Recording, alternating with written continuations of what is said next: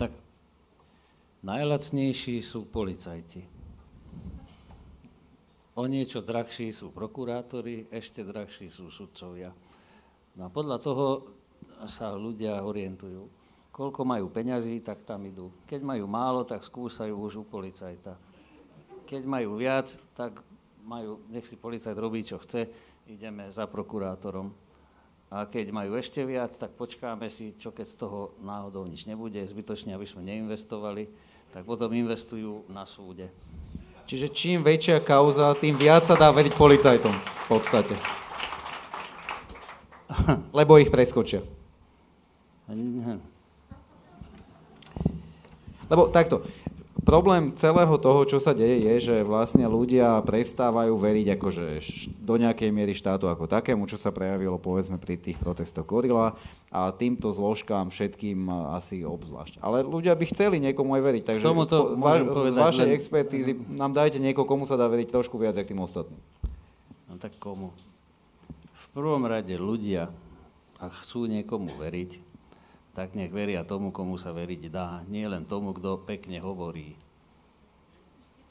Viete? Čiže niekto vie rozprávať. Ja viem, ale čo, kto to teda je? Akože ktorý teraz? No komu sa dá veriť, lebo ja by som tiež nevedel. Že tak kto, napríklad kto... mne verili ľudia.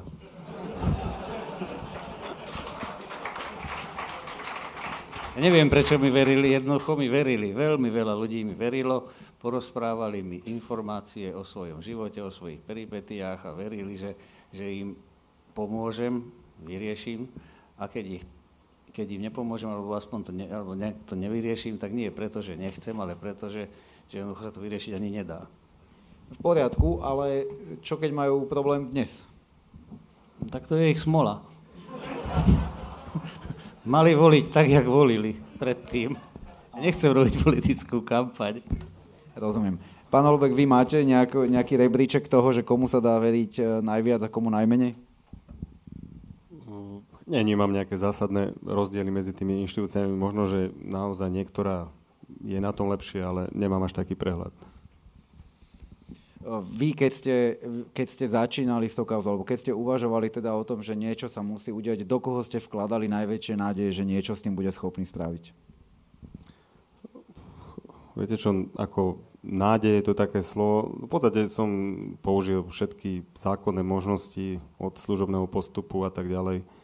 Čiže... Prečo ste nevedeli vy pánovi Spišiakovi, keď on vraví, že on vlastne vyžaduje tú dôveryhodnosť? Skúsili ste sa niekedy dobiť k nemu, že či on vám nejak nepomôže? Viete čo, pánovi Spišiakovi som sa nedobíjal, ale myslím, že aj on tam nejakým spôsobom bol, bol zaangažovaný neviem do akej miery, keď, keď sa to ešte niekedy Sice keď bol ešte 2008, keď sa to začalo, tak tam nebol, ale potom viem, viem že boli, boli nejaké ďalšie aktivity, ale to už musí vedieť on. Vy by ste dokázali nesklamať dôvedu pána Holubeka, keby ste sa včas uh, dostali k tomu spisu a začali to riešiť? No samozrejme. Čiže čo by sa stalo inak? Musím vám povedať, že vtedy, keď sa začalo hovoriť, že existuje nejaká takáto kauza, v podstate sa hovorili o tom, že existujú nejaké informácie z prostredia tajnej služby, tak o tomto oficiálne bol informovaný minister vnútra, policajný prezident a súčasný policajný prezident. Mňa vtedy z tohto vynechali. Neviem prečo, lebo som bol prvý policajný viceprezident.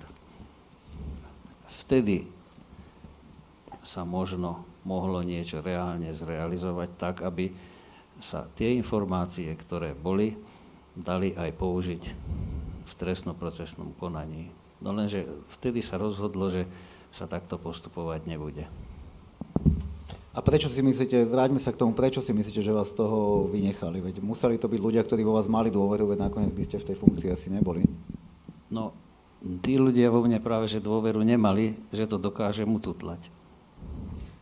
Čiže vy ste pracovali s ľuďmi, o ktorých ste si mysleli, teda, alebo aspoň viete spätne, že mali ambíciu ututlávať kauzy, ako je napríklad táto?